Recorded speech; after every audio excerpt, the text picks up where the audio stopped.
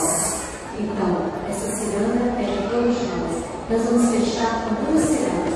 Vamos cantar a ciranda do amor, duas estrofes coral e depois a ciranda da linha que diz assim: Essa ciranda não é minha só, ela é de todos nós, ela é de todos nós. A melodia